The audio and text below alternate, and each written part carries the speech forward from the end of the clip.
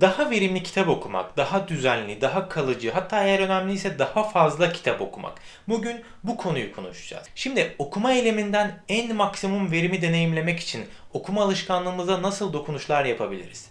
Ben hem araştırmalarım hem de kendi kişisel deneyimlerim sonucunda daha verimli bir okuma deneyimi için izlememiz gereken 12 adım belirledim. Bu, bu adımların hangileri size de hitap ediyor ya da alternatif adımlarınız neler sizler de yorum olarak yazabilirsiniz. Ayrıca bu 12 adımdan biri olan not alma konusunda da not alma biçimleri üzerine derlediğim ve çoğunu deneyimlediğim bir e, liste hazırladım. Bu maddelerden de bir sonraki videoda bahsetmeyi planlıyorum. Şimdiden söylemiş olayım. Bahsedeceğim maddeleri konuşmaya başlamadan önce bunları konuşmaya neden ihtiyacımız var sorusunu da bir düşünmek gerekiyor bence. Neden kitap okumalıyız? Nasıl okumalıyız? Nasıl daha verimli okuruz? Neden birçok insan bu soruları soruyor? Bu konularda araştırma yapıyor? Bunu bir düşünelim. Bence aslında herkesin bu soruları sorma sebebi farklı. Kitap okumakta çok arası olmayan ve şu ana kadar kitapların faydasız olduğuna kendini inandırmış ama sürekli etrafında ya da sosyal medyada kitaplardan muhabbet döndüğünü görenler şaşkınlıkla sorguluyorlar bu konuları. Acaba bu kadar okur kitaplarda ne buluyor? Neden okuyor? Ne faydası var? Gerçekten kitap okumak işe yarıyor mu? Film izlemek varken neden kitap okumalıyım gibi. Diğer taraftan hali hazırda okuyan insanlarda nasıl daha çok okurum, nasıl okuduğumu daha iyi anlarım, okuduklarımı nasıl daha kalıcı hale getirebilirim, nasıl okuma alışkanlığı kazanırım ve daha da çoğaltılabilecek sorularla böyle araştırmalara başlıyorlar. İlk gruptakiler için ayrı bir videoda konuşmak lazım. Fakat yine yıllar önce e, bu konu için de bir video hazırlamıştım. Şimdilik ona bir göz atabilirsiniz. Fakat şu anda bu videoda daha çok ikinci gruptakiler için konuşacağım. Şimdi Verimli okumak için neler yapabiliriz sorusuna yanıt olarak belirlediğim 12 adımdan ilkiyle başlayabilmek için kitaplığımıza gidebiliriz. Kitap seçimi.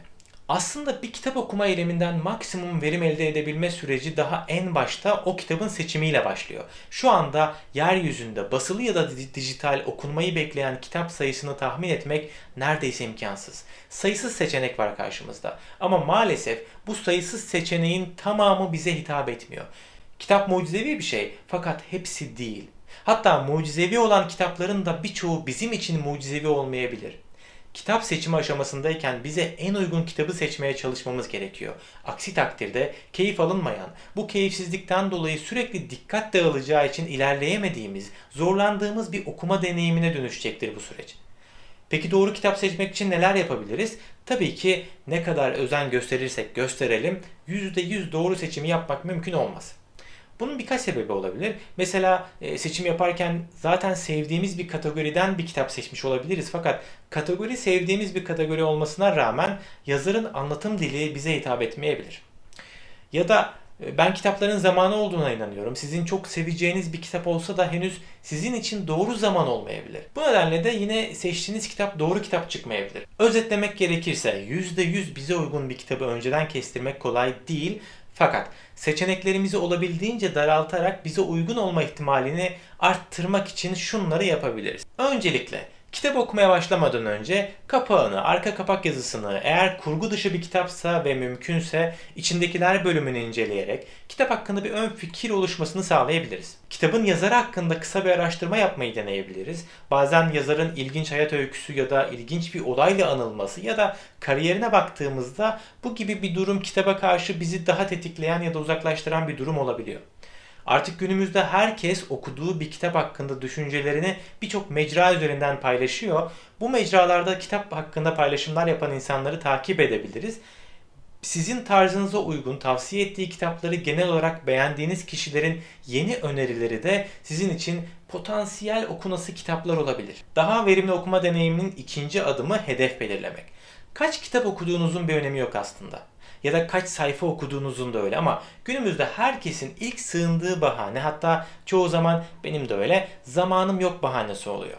Evet gerçekten çok yoğun zamanlarımız olabilir fakat öte yandan kitap okumanın bir boş zaman aktivitesi olmadığını da unutmamak lazım. Kitap okumak da günlük işimizin, rutinimizin bir parçası olarak düşünülmeli ve önceden planlanmalı bence. Bu nedenle günlük hedefler koymak ve bunlara uymak için planımızı baştan yapabiliriz. Burada bu hedefleri ister sayfa sayısı üzerinden ister süre şeklinde belirlemek mümkün. İster günde 15 sayfa, ister günde 15 dakika. Bu hedefi önden koyup buna uymaya çalışırsak zaten düzenli olarak okuma yapan biri haline dönebiliriz. Peki bunun verimli okumaya katkısı ne? Düzenli okuyarak okuma alışkanlığı kazanmak, bunu bir rutin haline getirmek okuduğumuzu anlama konusunda bize paralel olarak katkı sağlıyor. Bir nevi e, antrenmanlı olmak gibi bir durum diye düşünüyorum. Bir diğer adım düzenli okumak.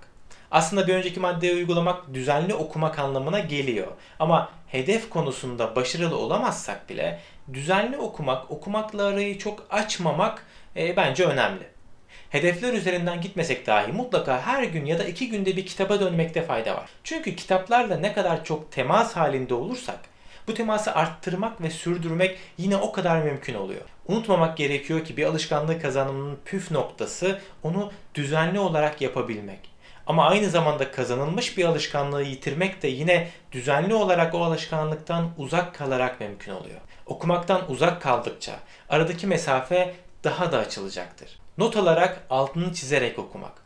Dediğim gibi kitap okurken not alma şekil ve yöntemlerini yine adım adım e, gelecek videoda incelemeyi planlıyorum. Fakat iyi okumaktan, verilme okumaktan bahsederken not alma başlığını da yüzeysel de olsa konuşmak lazım. Not alarak okumak hem e, okurken takıldığımız, araştırma ihtiyacı hissettiğimiz konular için bize yardımcı oluyor, unutmamış oluyoruz. Hem de okurken notlar alarak okuyarak edinmiş olduğumuz o bilginin zihnimizde de altını çizmiş ve daha kalıcı bilgi haline gelmesine katkı sağlamış oluyoruz. Hem de üçüncü olarak zaman zaman kitaba dönme ihtiyacı hissettiğimiz konulara daha hızlı ulaşmış oluyoruz. Hiçbir kitabı bitirmek zorunda değiliz. Aslında tam aksini savunan okur sayısı da bir hayli fazla. Okumaya başladığı kitabı hiç beğenmese, çok sıkılsa dahi e, okumak ve bitirmek zorunda hisseden çok fazla okur var.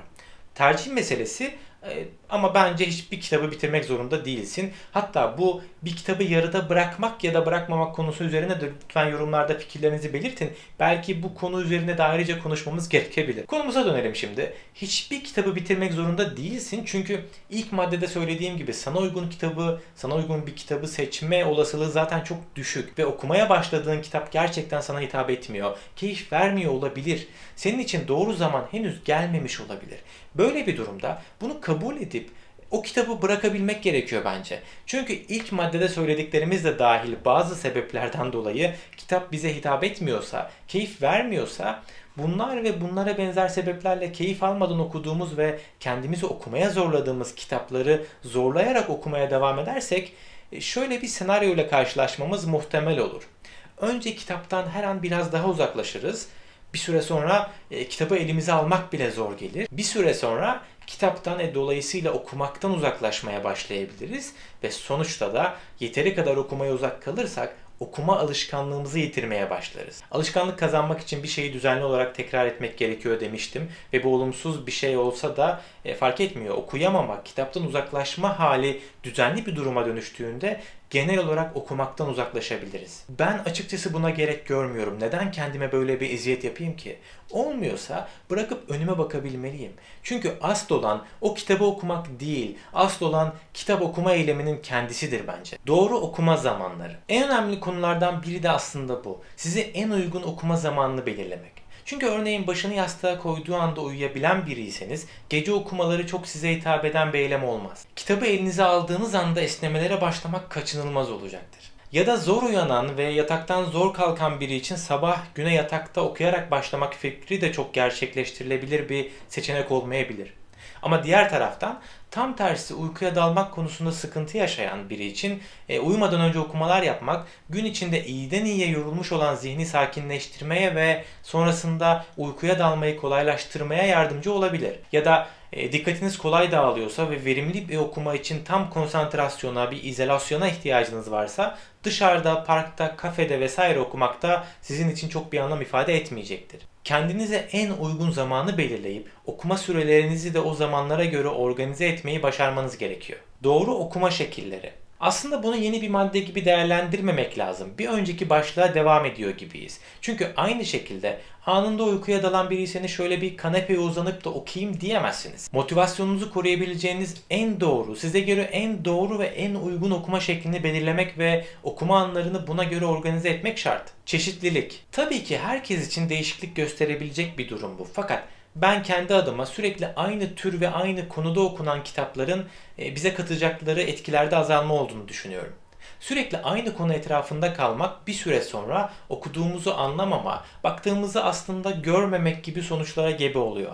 Ve bu aynı konuların etrafında kalma durumu aynı konu etrafında debelenme durumuna dönüşüyor bence. Bu nedenle arada bir farklı türlere, farklı konulara yönelmekte fayda var. Ben genel olarak tabi bazen bir konuyu araştırmak, öğrenmek söz konusu olduğunda benim de aynı tür ve konu etrafında kaldığım oluyor ama genel olarak bu çeşitliliği sağlamaya çalışıyorum. Yani bir kişisel gelişim kitabı okuyorsam bir sonraki kitabın bir roman olmasını tercih ediyorum mesela genel olarak bir bilgi aldığım, zihnime yükleme yaptığım bir kitap okuduysam sonrasında yeni bir yeni bir bilgi alımına geçip zihnimi yormamak için bir hikaye ya da roman gibi hayal gücünü çalıştıran kitaplara yönelmeye çalışıyorum. Benim için bu önemli bir konu ve okuma verimliliğine de etki ettiğine inanıyorum. Aynı anda en az iki kitap. Bu zorunlu bir durum olmamakla birlikte yine okuma esnasında da çeşitlilik sağlamak okurken alacağımız keyfi ve verimliliği bence arttırıyor. Örneğin bilgi veren, üzerine düşünerek, kendinizi zorlayarak okuduğunuz bir kitabın yanında daha kolay okunan, bir bilgi bombardımanına dönüşmeyen, zihninizi çok zorlamayan bir kitapla eşlik etmek ve yukarıda da saydığımız gibi okuma zamanına, okuma şekline, ruh halinize, zihninizin yorgunluğunuza göre ve daha birçok bir duruma göre o an hangisi size iyi gelecekse onu seçebileceğiniz bir okuma biçimi oluşturabilirsiniz. Belki 3 kitap bile okunabilir eş zamanlı olarak fakat benim tercihim büyük çoğunlukla 2 kitap oluyor. Bir kitabı hep yanında taşımak. Okuduğunuz kitabı sürekli olarak yanınızda, çantanızda taşımak da çok önemli. Bu sayede yolda, okulda, iş yerinde, her an her yerde yakaladığınız her fırsatı değerlendirip birkaç sayfa olsa da okuyabilirsiniz. Bu sayede kitaplarınızdaki bağlantıyı hiç kopartmamış oluyorsunuz. Bazen okuyacak zamanı bulamadığımızı düşündüğümüz dönemler oluyor, olabilir. Fakat Bundan daha önemli konu böyle hissettiğimiz durumlarda o kitapları gözümüzün önünde tutmamak oluyor. Okumadıkça, görmedikçe, aradaki o bağlantıyı günden güne daha da koparttıkça kitaba ve sonrasında okuma eylemine uzaklaşabiliyoruz. Bu nedenle her zaman yanımızda bir kitabın olması birçok açıdan çok değerli. Ayrıca özellikle toplu taşımada yolculuk ederken ve tabi oturabilmek ve bir yere tutunabilmek gibi asgari güvenliği sağlayabildikten sonra birbirimizi süzmekten çok daha iyi bir eylem oluyor kitap okumak.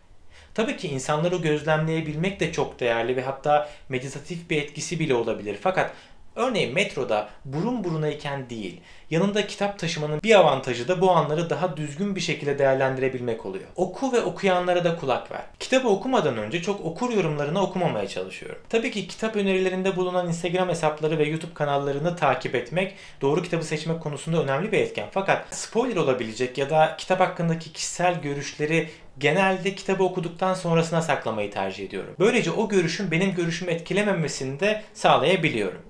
Ayrıca bir kitabı okuduktan sonra o kitapla ilgili yapılmış eleştirilere kulak vermek, okuduğumuzu pekiştirmek, kaçırdığımız, anlamadığımız detayları yakalamak konusunda da işe yarıyor. Bu nedenle kitabı okuduktan sonra o kitabı okuyanların ve yorum yapanların o yorumlarına kulak vermek de tavsiyelerim arasında yer alıyor. Ve son madde, son adım paylaş. En önemli maddelerden biri daha, hatta bence en önemlisi, bence bir tüketimi değerli kılan en önemli nokta o tüketimi bir üretime dönüştürebiliyor olmaktan geçiyor. Eğer bir üretime dönüştüremiyorsak, başka insanlara, başka hayatlara dokunamıyorsak, kendimiz için de keyifli bir an yaşamaktan öte fayda sağlayamıyorsak bence o verimsiz bir tüketimdir ve hatta bir enerji ve zaman israfı bile olabilir. Bu nedenle tükettiğimiz her kitabı bir üretime dönüştürmeye çalışmak gerek diye düşünüyorum. Sadece kitap da değil bu arada. Konumuz kitap olduğu için kitap diyorum fakat aslında tükettiğimiz her şeyi, her konuyu bir üretime dönüştürmeye çalışabiliriz. Ki günümüzde bunu yapmak hiç de zor değil. Ekstra çabaya gerek yok. Çünkü yine kitaba dönecek olursak o kitapla bir fotoğraf çekmek, birkaç cümle görüş yazıp paylaşmak bile bir üretim aslında. E hali hazırda zaten vaktimizin çoğunu sosyal medyada harcarken en azından bu zamanı iyi bir şeye dönüştürmüş olabiliriz. Evet bu konuda benim söyleyeceklerim bu kadar. Daha verimli kitap okumak konusunda hem deneyimlediğim, uyguladığım hem de düşündüğüm yöntemler bunlardı. Şimdi bir sonraki videoda kitap okurken satır altlarını çizmek, notlar almak konusu üzerine belirlediğim maddelerden bahsedeceğim. Sizler de aşağıda yorum olarak hem daha verimli kitap okumak konusundaki düşüncelerinizi yazabilirsiniz hem de e, gelecek videoda bana katkıda bulunmak adına kitap okurken satır altlarını çizmek, notlar almak konusunda da fikirlerinizi yazabilirsiniz.